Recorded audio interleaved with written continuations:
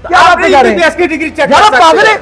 मेरी हाँ। जान चली जाती कौन जिम्मेदार है बच्ची आपने नहीं आना अभी था दो इधर। माह पहले इधर बच्ची नहीं मरी उसकी कैसी जिम्मेदार है बेहूदगी वाली बातें कर रहे हैं मैं ठीक कर रहा हूँ और अपनी ये उम्र सीधी का मैं हम पता ना करें डॉक्टर साहब मेरी गल सुनो ਤੁਸੀਂ ਵੀ डॉक्टर साहब नहीं है। हाँ जी डॉक्टर साहब नहीं है जबकि आप अपनी वीडियो में इतराफ करते हैं डॉक्टर ये साहिब चंद मिनट पहले खुद को सीनियर डॉक्टर नईम असलम बताते हुए हमें इस बात पर आमादा कर रहे थे कि फौरी तौर पर हमारी लिखी हुई दवाई लगवाएँ वरना आपकी तबीयत मज़ीद ख़राब हो जाएगी। डॉक्टर नईम जी जी।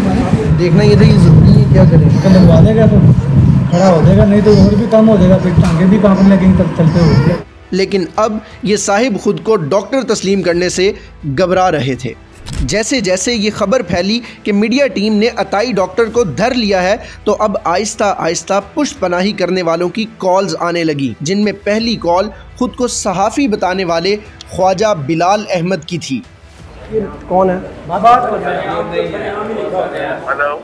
जी जी भाईजान हुक्म करें। जी जी भाईजान कहाँ तशरीफ़ लाए मेरे भाई? हज़रत मैं कह रहा हूँ मैं एक पेशेंट हूँ मुझे इन्होंने ड्रिप लगाई है और मैं अब राइट रखता हूँ कि मैं कह रहा हूँ भाईजान अपना लाइसेंस को चीज़ दिखा दे आपने वो ड्रिप लगाई है। बस इतना सा मुद्दा ट्रिप लगवाने आए हैं या इनका लाइसेंस चेक करने आए हैं? हज़रत उन अपना तारुफ भी कराओ कि सारा कुछ एनजी करना है।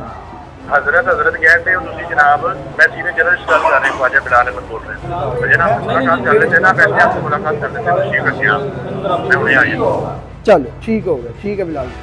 अब ये शख्स वाक़ता सहाफ़ी था या ये भी डॉक्टर नईम असलम की तरह अताई सहाफ़ी था, ये तो अल्लाह की ज़ात बेहतर जानती है। ख्वाजा बिलाल साहब से कह रहे हैं जी, मैं प्रिंट मीडिया का सीनियर साफ़ी हूँ, क्राइम रिपोर्टर हूँ। कालियाँ भेडा भी फिर बिचे होंदियाँ ने। वो सिफारिश कर रहे हैं कि काइंडली आप लाइसेंस ना देखें अब चले जाए बैठे। मुलाकात करें। एक मिनट यार।